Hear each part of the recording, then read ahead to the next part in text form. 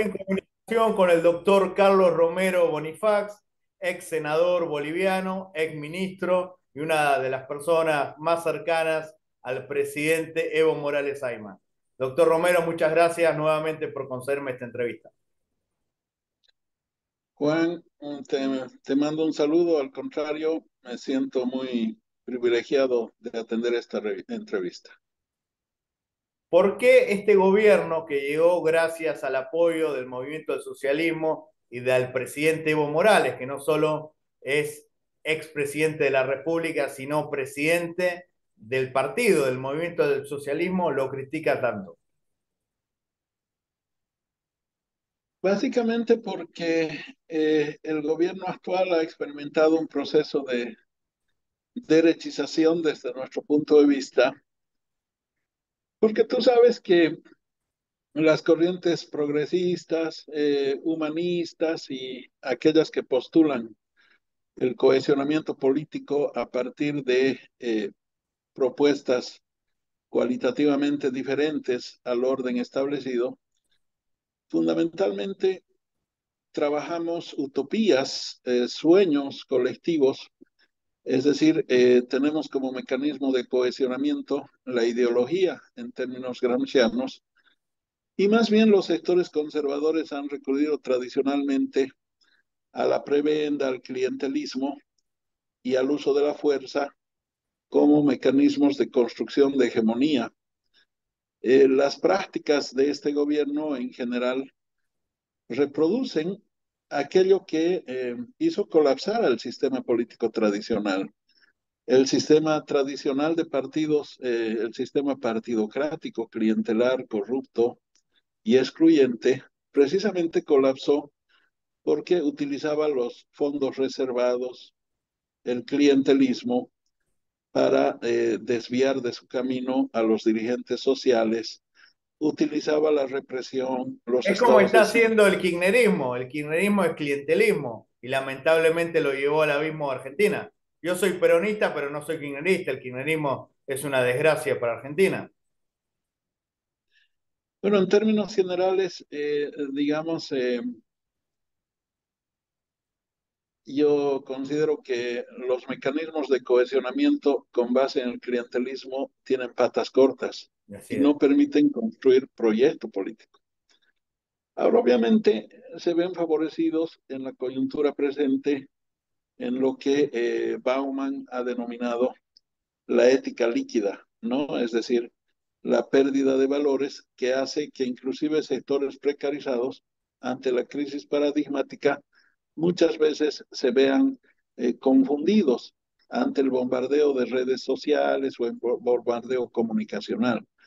Pero eh, eh, igualmente eso tiene patas cortas porque en un mundo que está transitando a la reconfiguración de su orden establecido, de su establishment, y en una subregión que está enfrentando particulares problemas que exponen inclusive la posibilidad de transitar a una crisis de Estado, a partir de eh, la situación económica y de la crisis de seguridad, que son un poco eh, fenómenos post-COVID. Eh, obviamente que somos países en este momento vulnerables. Doctor, le quiero hacer una pregunta, ya que muchos me dijeron que usted es uno de los políticos más inteligentes que, tiene Bolivia, fue ministro de gobierno muchos años. Hay un tema que me preocupa y los políticos bolivianos parece que no están alertas.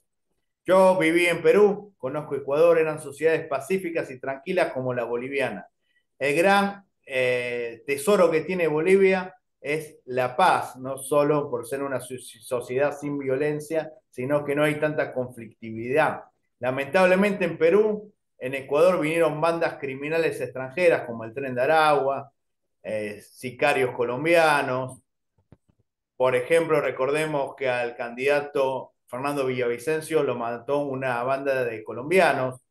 El jefe de homicidio de la Policía Nacional del Perú está siendo amenazado por los venezolanos del tren de Aragua. ¿Cómo se puede prevenir que en, en Bolivia no ingresen estas bandas criminales que ponen en zozobra a países como Perú y Ecuador? Piensa que hay que aumentar los controles fronterizos, una legislación migratoria o de seguridad e inteligencia del Estado más efectivo? ¿Cómo se puede hacer para evitar que estos problemas estallen en la cara de los bolivianos? Bueno, Juan, yo te, te plantearía a modo de hipótesis de trabajo algo que de repente te va a dejar espeluznado. En Bolivia ya está presente el tren de Aragua y en Bolivia están presentes eh, casi todos los cárteles, yo diría todos los cárteles que operan con la droga.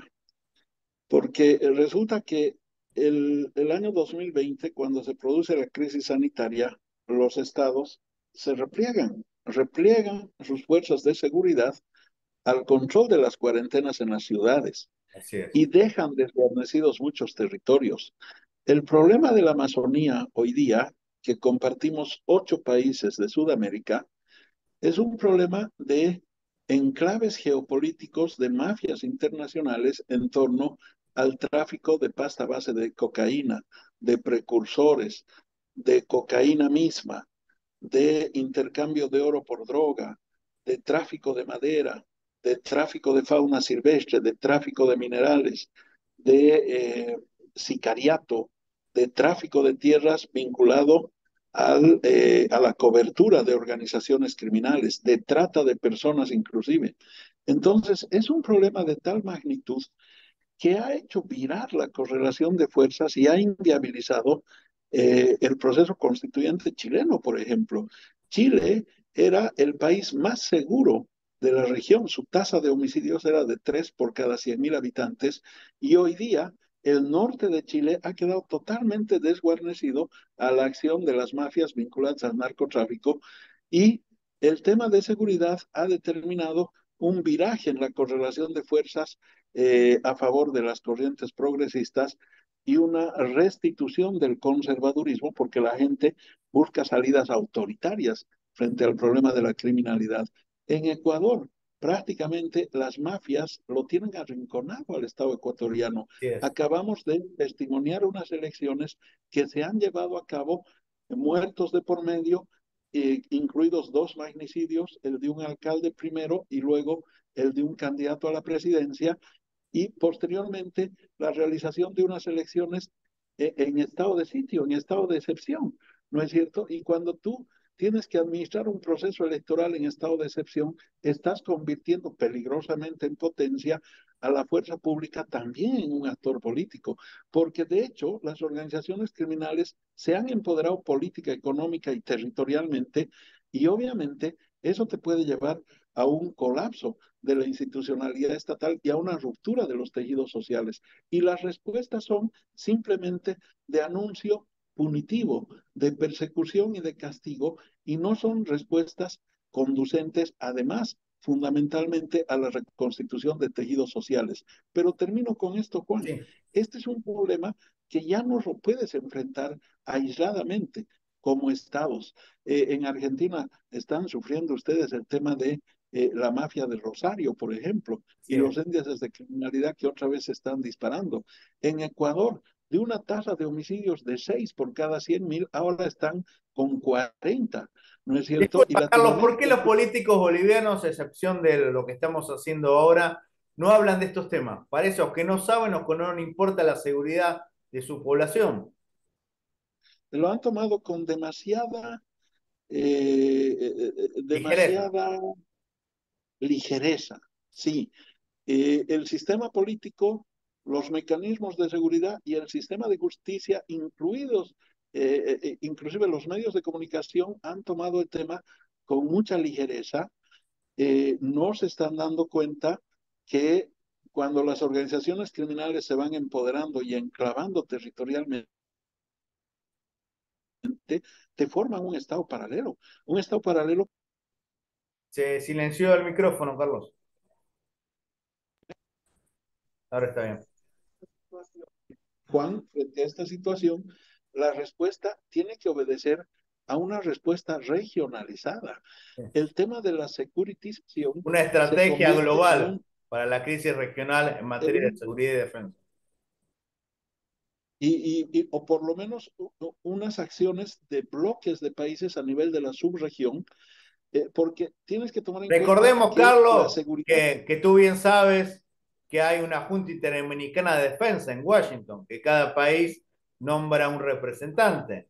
Hay instrumentos para hacer estas reuniones y sacar conclusiones que lamentablemente parece que poco y nada hacen. Sí, lamentablemente hay un debilitamiento institucional eh, que es transversal, ¿no? Y eso preocupa, porque cuando las instituciones se debilitan, los poderes fácticos adquieren mayor fortaleza, ¿no es cierto? Y, hay que tomar en cuenta que la seguridad tiene una característica, eh, digamos, particular en el mundo contemporáneo, básicamente en nuestra subregión por lo menos, que se está enlazando al tema de la economía y del cohesionamiento social. ¿Por qué? Porque eh, la criminalidad está determinando el funcionamiento de la economía misma. En Bolivia, por ejemplo, la posibilidad de circulación de divisas está asociada a por lo menos seis mecanismos de economía gris. Y hoy mismo eh, Ecuador tiene como única posibilidad de captación de divisa eh, el, ser permisivos a una política de emigración de su población hacia el norte y hacia los países de Europa, que se ha hecho todavía mucho más tenaz en los últimos meses. La última pregunta, Carlos. Tú quieres lo mejor para Bolivia. Yo también, es un país que, quiero mucho. ¿Qué consejo le darías a Eduardo del Castillo, que actualmente tiene el cargo que tú tuviste? ¿Qué, qué le dirías para poder prevenir estas situaciones, algo en son de paz, no una crítica, sino un consejo hasta casi de amigos, aunque no lo sean. Bueno, mira, que eh, tiene que redefinir una agenda de seguridad con base en tres pilares. Primero, asumir que la Fuerza Especial de Lucha contra el Narcotráfico en Bolivia ha colapsado. Es decir, hay que establecer otro dispositivo se silenció el micrófono. Plataforma con países vecinos de contrainteligencia, con eh, el trabajo de oficiales de élite de las policías vecinas para romper el monopolio desvirtuado de investigación e interdicción del dispositivo de seguridad policial en Bolivia. Tercero, eh, lo que más nos hace vulnerables en este momento eh, son las fronteras y eh, el control del espacio aéreo. Para eso hay que establecer una plataforma conjunta de control de espacio aéreo con los países vecinos. En el caso de Bolivia, particularmente Brasil, Perú y Paraguay. Pero eso pasa primero por asumir una decisión muy drástica de lucha contra la criminalidad. Muchísimas gracias, Carlos. Muy amable como siempre. Los que están viendo esta entrevista, por favor, coméntenla y suscríbanse al canal. Muy amable.